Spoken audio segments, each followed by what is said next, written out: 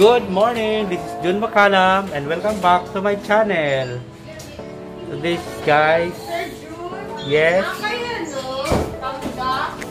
look, Hi! Morning! naglag mga gapon. Hi ma'am Ja. Oh, Saturday!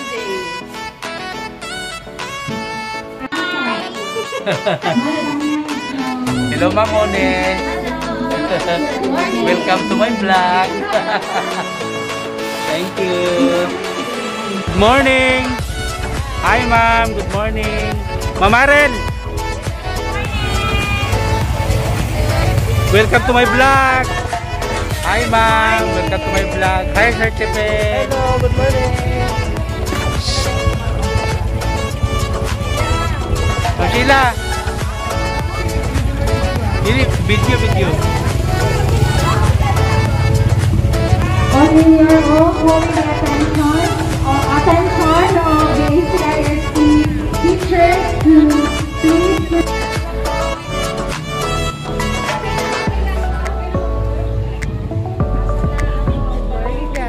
Okay, where are the grade 6 teachers? Grade 6 teachers. Who else? Um, grade 5 teachers.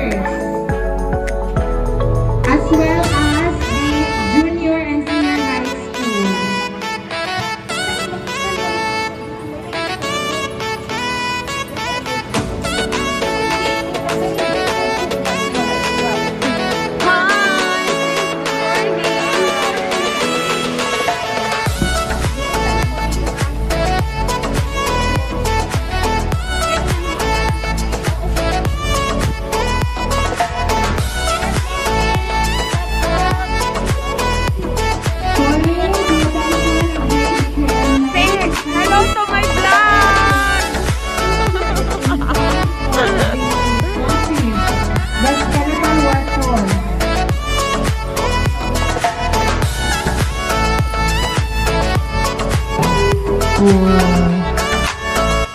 program, uh, start na yung program and yung mga grade 1 natin, they will perform there for the national anthem. So, wala muna tayong exercise na yun. So, to everyone, good morning pala. Um, I'm in the situation as of now. Um, kaya lang, ito lang ko sa inyo talaga. Pero yung awa natin, nandiyan pa rin yung awa natin. Two days is sinitaw uh, three days work from home.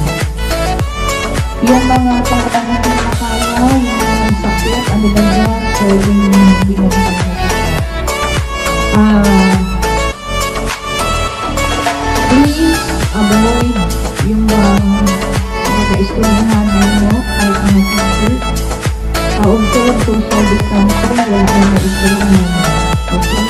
Kasi hindi natin talaga si anong si natin alam siya kung ang sama sa dapat So, to everyone, normal pa rin yung ano natin, uh, uh, scheme ng ating trabaho. As what I have said, uh, two days skeletal and three days work from home. Yun, no?